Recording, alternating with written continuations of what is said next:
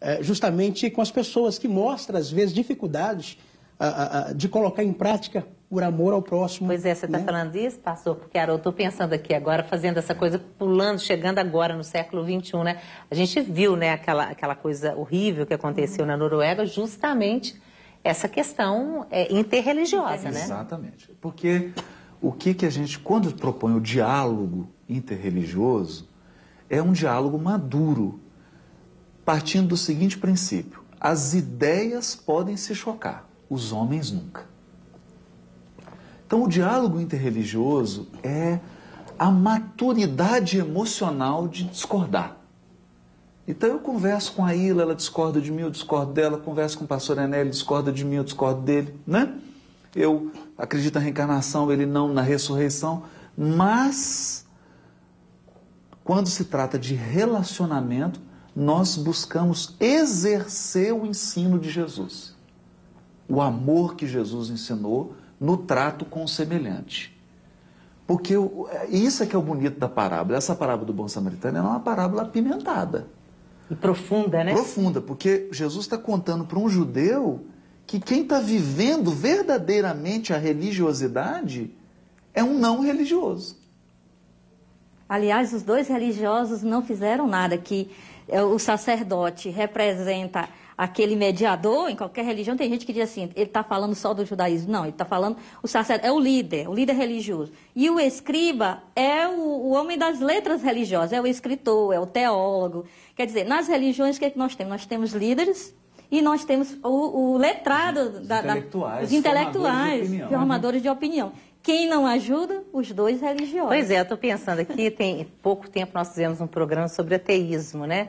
Programa polêmico até, mas assim, muita gente dizendo, ligando para a gente, mandando e-mail, falando assim, olha, é, eu sou cristão, mas eu conheço muito ateu que é mais cristão do que muito cristão. Até aqueles cristãos que vão para a igreja católica, que vão para a igreja evangélica, para os espíritas, espíritas, que é o seu caso. exatamente. Ou seja, isso ocorre de fato. Ocorre. Pode ocorrer, né? Ocorre de fato. E aí, Roberto, quando você fala no início do programa sobre uma nova religiosidade que tem surgido, as pessoas do século XXI, elas estão mais interessadas em essência, É. no que é essencial. É o que, é o que preenche, né? O que é- tá todo o que mundo com preenche. tanto vazio, não né? é? Porque as relações estão adoecidas, ah, tem muito ódio, muito rancor, é, muita desigualdade, muita injustiça, muita maldade. E se a religiosidade não sana esses problemas, se ela não resolve isso, qual o sentido dela? Qual o sentido? Se Deus não for cura, se Ele não for esperança, se Ele não for fraternidade, se Ele não for amor, ele vai ser o quê? É. Agora, terminando o bloco, o que, que fica dessa parábola que você quer falar para as pessoas, além do que a gente já disse? Essa né? parábola é o. é, Jesus fala para ele, né? É, Você compreendeu? Então faça. Faça. É, o agir é muito maior do que a compreensão intelectual. O, o que movimenta as pessoas é o agir.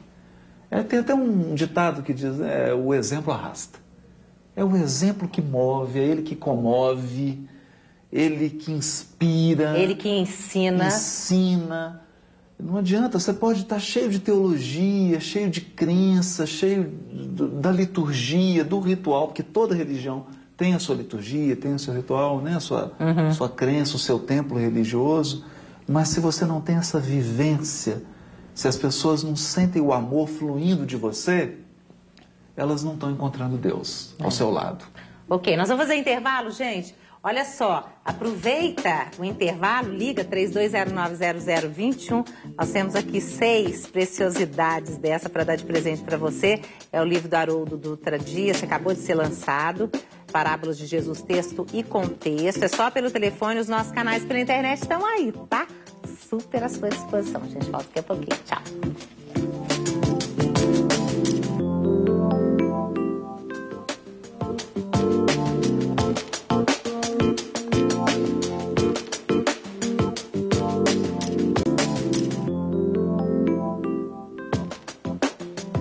Então, gente, Brasil das Gerais, no programa de hoje nós estamos falando sobre as parábolas de Jesus, o que nós podemos aprender, o que essas parábolas nos ensinam.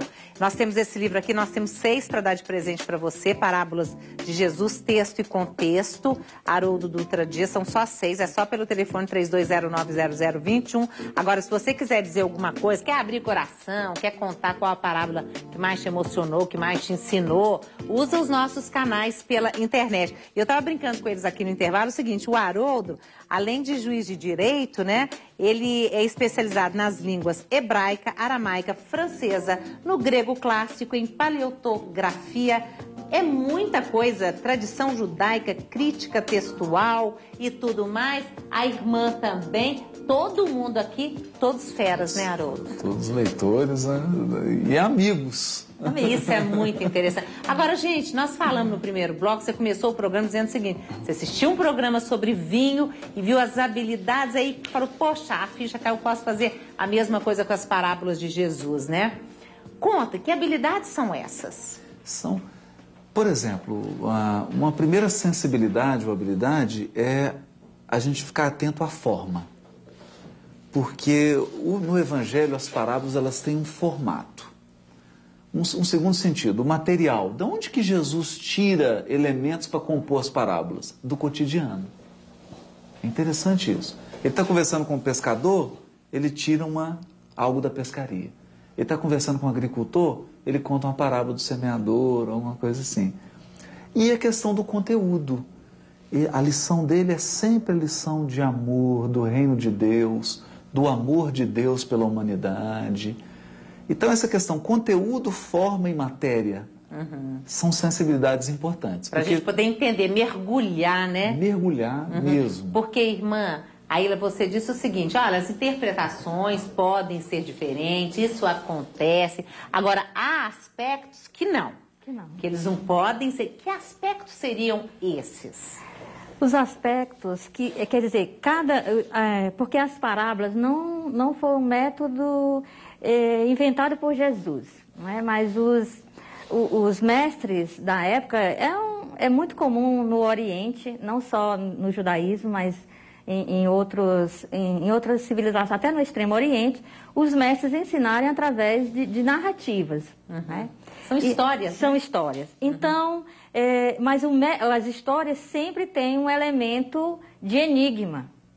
E o enigma, a chave, da interpretação está no mestre que conta. Então, se eu for ler uma, uma parábola de um rabino judeu, eu tenho que saber o que, que, era importante para ele, porque a chave está. Por isso que os discípulos é quem interpretavam as parábolas. As multidões não conseguiam entender as parábolas, mesmo falando de galinha, de, de milho, de joio, de, de, peixe. Era o cotidiano deles, mas eles não tinham um elemento que eles não conseguiam. É o tal do enigma. É o enigma. Uhum. E o enigma, ou o mestre diz para os discípulos, e muitas vezes Jesus disse para os discípulos o que, o que era, e outras vezes não precisa o mestre dizer, mas na convivência com o mestre, aí o discípulo como a gente diz atualmente, cai a ficha e diz é isso, entende? Uhum. Então, as, a, tem elementos das parábolas que não ficam à mercê da nossa interpretação, é, dizer, ah, eu acho que é isso. Exemplo prático. É, por exemplo, a, nessa parábola que a gente está falando, que, que, acabamos de falar, do, do, bom do, bom samaritano, não é? Se nós não, não, não sabemos que Jesus é, um, é uma pessoa que se dá com todos que ele não, não deixa que haja barreiras entre ele e uma pessoa que tem uma vida errada, pelo menos para aquela época, não é? Ou, ou, um samaritano, uma pessoa fora do seu grupo, mas que ele quer incutir nas pessoas um agir, um agir que é a abertura para o outro, não é? Que que cada um mantenha sua identidade, mas se abra para o outro. Se a gente não sabe que Jesus é assim, a gente não vai conseguir entender a parábola do bom samaritano. A gente vai ver uma historinha que diz: ai, que cara legal, ele ajudou o cara que foi assaltado, estava lá na estrada, que bonitinho. Bom, aí eu posso dar mil e uma interpretação para isso. Bom, eu tenho que ver que quem é Jesus, então Jesus, fora de Jesus, não, não é isso. Quer dizer, Jesus está querendo ensinar aquilo que ele faz e está querendo que o os ouvintes dele ou os leitores atuais façam o que ele fez, tem abertura para o outro. Olha que interessante. Pois é, agora a gente vamos ver um trechinho de uma outra parábola, agora do filho pródigo. Orei pelo perdão por ter lhe esbofeteado com raiva. Eu não mereço seu remorso. Você é meu filho, Micah. Um filho sempre merece o amor de seu pai, mesmo quando quer ir para longe. Eu lhe trouxe em ouro a metade de sua parte. A outra metade estará aqui quando precisar.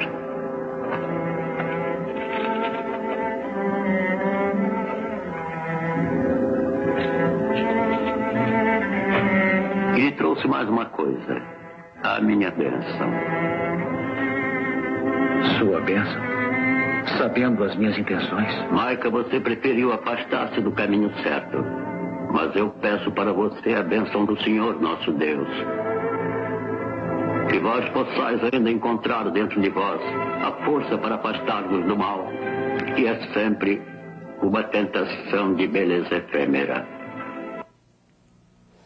Pastor Enés, essa é a sua palavra preferida? É uma das minhas preferidas, com certeza. então vamos falar Pegou dela. ele. É uma das minhas preferidas. Essa parábola é, ela é considerada um evangelho dentro do evangelho. A parábola do filho pródigo, normalmente se chama dessa forma, é, eu costumo dizer que é a parábola dos filhos pródigos, porque de um lado nós temos o filho mais velho, que fica dentro de casa, ele não rompe ah, com o pai, mas ele está perdido dentro de casa. Né? O filho que sai de casa se perde lá fora. E, ao mesmo tempo, a parábola conta a história de, de um pai também. Um pai perdido de amor pelos seus filhos. Né? A figura do pai, ela, ela retrata a figura de Deus. Né? As parábolas têm essas características. Né? Elas têm um caráter é, teocêntrico. Elas falam de Deus o tempo todo, na verdade. Então, elas falam de um pai compassivo, de um pai é, é, que ama uh, os filhos, de tal forma que mesmo aquele filho que se perde, que rompe com o pai, que abandona o pai, Leva o dinheiro, né? Leva Você o perde dinheiro. a parte dele. Sabe o que eu achei interessante? Eu que sou leiga, né? Que a história é o seguinte: quando o filho volta, que o filho perde tudo, né? Esse pai sai correndo para encontrar esse filho, e a gente sabe que aí, olhando o contexto, o naquela contexto, época, né? Os homens não corriam, corriam. né? Não, não era- As não mulheres é que corriam, Aliás, né? um- uma criança naquela época podia correr, né? Um- Uma mulher podia correr. Mas Mas um homem homem, não respei- respeitado da comunidade ancião. dele, ele não podia fazer isso. Um ancião não podia correr. Cobrir e era o de caso dele, na verdade. Ou seja, quando, quando ele corre em direção ao filho para receber o filho, ele está quebrando um tabu naquela época. É, é, e isso justamente fala do amor de Deus, né? Ah, que Deus, às vezes, quebra a- a- algumas situações para demonstrar o amor que ele tem pelos seus filhos. Porque aquele filho que rompeu com a estrutura do pai, ele é um filho que, que ele desrespeitou o pai, ele, ele antecipou uma situação que é como se ele tivesse desejado dentro do seu coração a morte antecipada do seu pai. Ele não tinha direito de reivindicar a, a parte da sua herança enquanto o pai não morresse. Mas quando ele faz isso, é como se ele antecipasse a morte do pai. Até hoje, né? É. Um filho faz isso na nossa sociedade, isso é interpretado como. Né? O pai fala que negócio, você quer que já reparte a herança? Eu estou vivo ainda. É uma coisa não é aceita nem hoje. E na época é uma coisa muito mais forte, né? Muito Nós mais. estamos falando de uma civilização que a tradição é muito Antiga, conservadora, oriental. né? nesse sentido, oriental, né? E, e nesse aspecto nós percebemos que, que o pai não, não, não leva isso em consideração. Ou seja, a- o, o pai deveria levar o filho diante da comunidade, dos anciões, e o filho deveria ser punido, castigado pela atitude. Contudo, o pai consente no pedido do filho, né? E, e o texto diz, é interessante, chama a atenção aqui, que o texto diz que o pai dividiu, o texto original, o texto grego, né, ele dividiu a sua vida para o seu filho. É como se ele, a, a- a herança, a- o patrimônio que foi construído, e com certeza era que havia passado de família a família, e o pai havia herdado aquilo, ele ia viver daquilo, era a sua sobrevivência, na verdade. Então, ele divide a sua, filha, a sua vida com o filho naquele momento. Pois é, mas eu estou pensando aqui, pastor, como é que fica, Haroldo, por exemplo, a gente pensando hoje, né? A gente vendo relação entre pais e, e filhos, às vezes tão estremecidas, é, é, uma, uma juventude, a gente vê a questão da droga, como é que tá, né, gente?